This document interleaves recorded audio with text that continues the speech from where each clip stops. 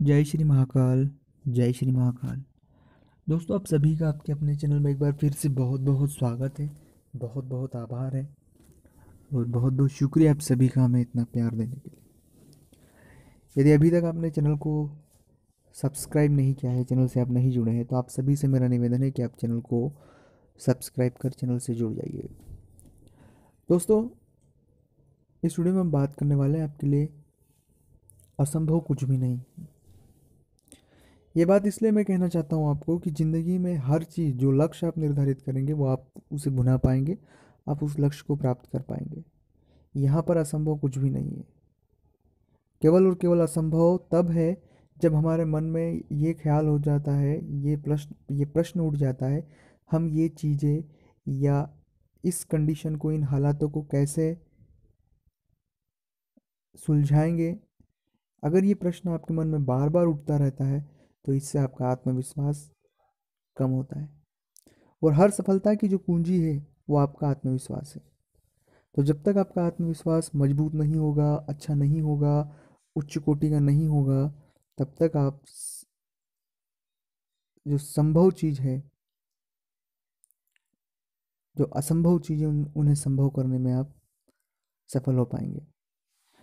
तो दोस्तों कुछ बातें हैं इन बातों को शायद आप फॉलो करें। तो मुझे यकीन है कि आपको बहुत फ़ायदा होगा। पहली और मुख्य बात है, मन में आत्मविश्वास खुद के प्रति बनाए रखें कि हाँ मैं ये कर चीज़ें या हाँ मैं ये जो भी काम है, ये कर सकता हूँ। करने के लिए जो उसकी मुख्य प्राथमिकता है, उसमें क्या क्या स्किल्स लग रहे हैं या क्या क्या उसमें हमें जानकारियाँ होना चाहिए कौन सी जानकारी होनी चाहिए, इन सभी चीज़ों को हमें एनालिसिस करना चाहिए, इन चीज़ों की जानकारी जुटाना चाहिए और फिर हमें आगे बढ़ना चाहिए। दूसरी बात ये हुई कि आप खुद जब किसी भी विषय पर या किसी भी काम को करेंगे तो जो ज्ञान आपको प्रैक्टिकल से होगा, वो ज्ञान किसी की बात सुनकर, केवल बात सुनकर या किसी भी हम अनुमान लगा सकते लेकिन करने के बाद उस चीज़ का सही और वास्तविकता हमें पता लगेगी। तो वास्तविकता को स्वीकारें और वास्तविकता की तलाश हमेशा आपकी जारी रहना चाहिए। तीसरी बात है, आप हमेशा सीखने की इच्छा जो है आपकी, वो हमेशा जागरूक रखें, हमेशा सीखते रहें। क्योंकि अगर आप सीखते नहीं रहेंगे ना तो जीतते नहीं रहेंगे। तो सीखने की जो आपकी आदत है सीखने की जो कला है उसे हमेशा आप सीखते रहें कोशिश जारी रखें क्योंकि सफलता आपको एकदम से नहीं मिलती कई दिनों के प्रयास से सफलता हमें मिलती है। चौथी बात नेगेटिविटी जो लोग बद, ब, बोलते हैं किसी भी विषय को लेकर उसमें जिन टेक्निकल इरर है जो तकनीकी खामियाँ हैं उन खामियों को ध्यान रखना है।